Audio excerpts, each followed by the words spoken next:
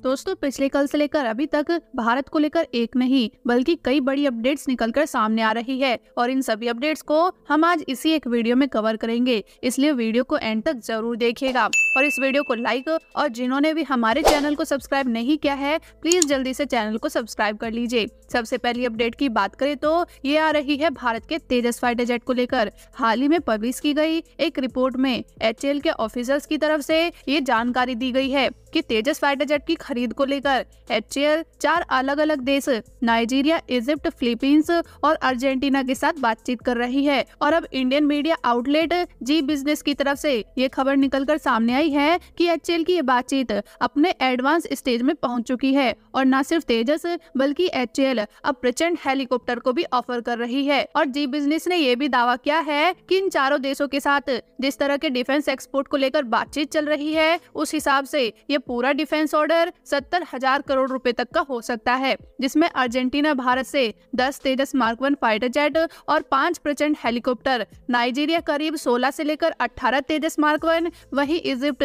करीब 20 Tejas fighter jet और Philippines लगभग 20 एलसीएच हेलीकॉप्टर लेने में इंटरेस्टेड है। बात करें अगर अगली अपडेट की तो ये आ रही है अमेरिकन प्रेसिडेंट जो बाइडन और इंडिया के रिपब्लिक डे परेड को लेकर। दरअसल जैसा कि आप सभी लोग जानते हो कि हर साल रिपब्लिक डे पर होने वाली परेड के मौके पर भारत की तरफ़ से हर बार किसी एक देश के प्रेसिडेंट या फिर प्राइम मिनिस्टर को as a chief guest invite किया जाता है। और साल 2024 में होने वाली परेड के लिए अमेरिकन प्रेसिडेंट जो बाइडेन को चीफ गेस्ट के तौर पर भारत की तरफ़ से इन्वाइट किया गया था। लेकिन खालिस्तानी एक्टिविटिस्ट और सिख फॉर जस्टिस के लीडर गुरपन सिंह पन्नू की हत्या की कॉन्स्पिरेसी को लेकर भारत और अमेरिका के बीच जो पॉलिटिकल डिस्प्यूट खड़ा हो गया है। उसके चलते अब जो बाइडन ने अपनी भारत की विज़िट को कैंसिल कर दिया है। इसके पीछे खुलकर पन्नू की मर्डर प्लानिंग का नाम तो नहीं लिया गया है, लेकिन इसके पीछे अमेरिकन ऑफिसर्स ये बहाना मार रहे हैं कि जनवरी महीने में जो बाइडन का स्टेट ऑफ़ द यूनियन नाम का एक इवेंट है।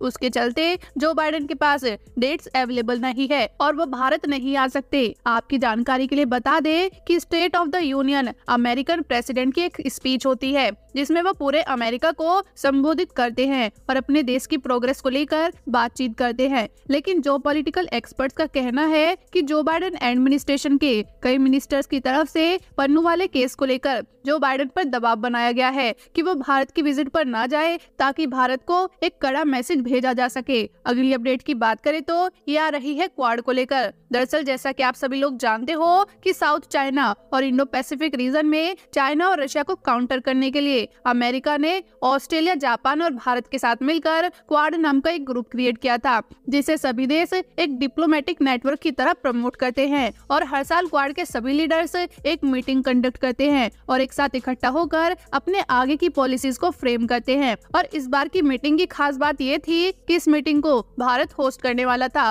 और भारत की प्लानिंग ये थी कि जब Joe Biden republic day parade को अटेंड करने के लिए भारत आएँगे, हम उसके अगले दिन ही क्वाड मीटिंग को शेड्यूल करेंगे। करेंगे और अगले दिन क्वाड के सभी लीडर्स भारत आएँगे। लेकिन अब क्योंकि जो बाइडन ने एन मौके पर भारत आने से मना कर दिया है, इसलिए इस मीटिंग को पोस्टपोन करके 2024 के एंड में रीशेड्यूल कर दिया गया है, जो कि मोस्ट प्रोबेबली कैंसिल ही कर दी जाएगी। और ये पहली बार नहीं है। पिछली क्वाड मीटिंग को जब ऑस्ट्रेलिया में होस्ट किया गया था, तब भी एन मौके पर अमेरिका ने मीटिंग एंड करने से मना कर दिया था, जिससे ये साफ़ पता चलता है कि अमेरिका की तरफ़ से क्वाड की इम्पोर्टेंस को खत्म करने की कोशिश की जा रही है, क्योंकि जो बाइडेन एडमिनिस्ट्रेशन का चाइना के प्रति एक सॉफ्ट कॉर्नर है और वो चाहते नहीं है कि क्वाड के ज़रिए चाइना को प्रवोक किया जाए। जबकि इसके कंपैरिजन में आप ब्रिक्स और एसियो समिट्स को देखो तो इनके सभी मेंबर्स फिजिकली ना सही लेकिन वर्चुअली सभी मीटिंग्स को अटेंड करते हैं। फिर चाहे सभी देशों के बीच आपस में संबंध कितने ही खराब क्यों ना हो, इसी बात से पता चलता है कि ब्रिक्स आज की डेट में इतना पावरफुल ग्रुप क्यों है। और अगर ये ग्रुप फाइनेंशियली की जगह मिलिट्री और डिफेंस ग्रुप होता तो ये अमेरिका के नाटो को भी फेल कर देता। अगली अपडेट की बात करें तो ये आ रही है पाकिस्तान द्वारा दी गई भारत पर गाजा के स्टाइल में हमले की धमकी को लेकर। दरअसल हुआ क्या है कि साल 2019 में भारत सरकार ने जिस तरह से आर्टिकल 370 को हटाया था, क्या वो सही था या फिर नहीं, उसको लेकर भारत के सुप्रीम कोर्ट ने भारत सरकार को अपनी तरफ़ से क्लियरेंस दे दी है और भारत सरकार के फैसले को संविधानिक रूप से सही बताया गया है। जिसके बाद अब कानूनी रूप से ये साफ़ हो गया है कि आगे से सुप्रीम कोर्ट भी आर्टिकल 370 के मामले में अपनी तरफ़ से कोई दखल अंदाजी नहीं करेगा। अब भारत के सुप्रीम कोर्ट की इस वर्डिक्ट पर पाकिस्तान बुरी तरह से बौखला गया है और अब पाकिस्तान की तरफ़ से भारत को इसराइल जैसे हमले की धमकी दी जा रही है। पाकिस्तानी आर्मी के रिटायर्ड ब्रिगेडियर वकार हसन ने Pakistani news agency Dawn news को एक दिए गए इंटरव्यू के दौरान ये स्टेटमेंट दी है कि भारत सरकार ने आर्टिकल 370 हटाकर कश्मीरी लोगों की भावनाओं के साथ खिलवाड़ किया है और कश्मीरी लोग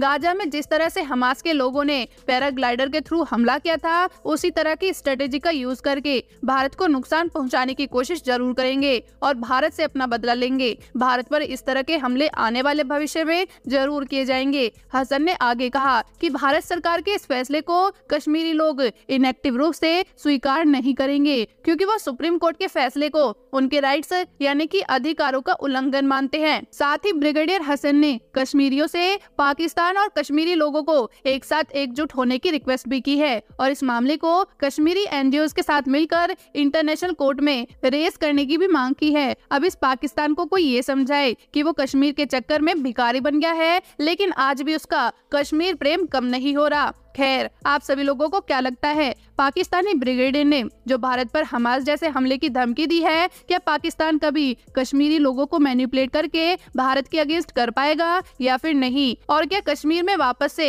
आर्टिकल 370 आएगा या फिर नहीं? कमेंट करके ज़रूर बताना। और जाने से पहले एसवी नॉलेज चैनल को सब्सक्राइब करके बेल आइकन को ज़रूर प्रेस करना, ताकि आने वाली सभी नोटिफिकेशन आपको मिलती रहे। जय हिंद, जय भारत।